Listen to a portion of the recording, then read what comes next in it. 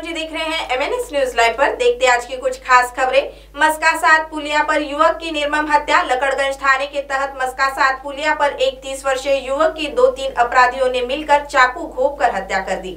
यह वारदात शनिवार रात साढ़े आठ बजे के दौरान हुई है मृतक युवक भिलाई निवासी सुभाष विश्वकर्मा है। आरोपियों ने सुभाष को पुलिया पर ही घेर कर उस पर चाकू से वार किया, उसके लहू लोहान होकर सड़क पर गिरते ही आरोपी वहाँ से फरार हो गए। हत्या की वजह पता नहीं चल पाई है, फ़िलहाल पुलिस इस मामले की जाँच कर रही है। नहीं, सुलझी अपहरण मामले की गुत्थी, छात्रा की आत्महत्या या फिर हुई हत्या।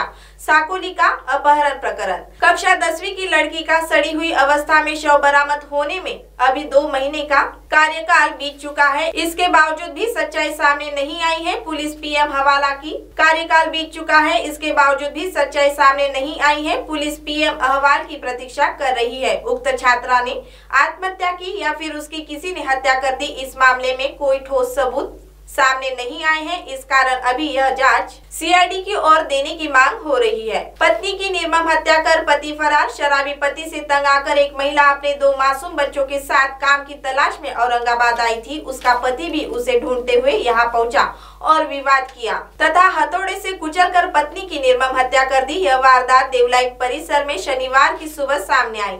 हत्या के बाद पति ने दो वर्षीय मासूम को पत्नी के शव के पास ही छोड़ दिया और पाँच वर्षीय बेटे को लेकर फरार हो गया। बताया जाता है कि पत्नी के पैसों से ही आरोपी पति शराब पीता था और पैसे न देने पर उसके साथ मारपीट किया करता था। फ़िलहाल पुलिस इस मामले की जाँच कर रही है।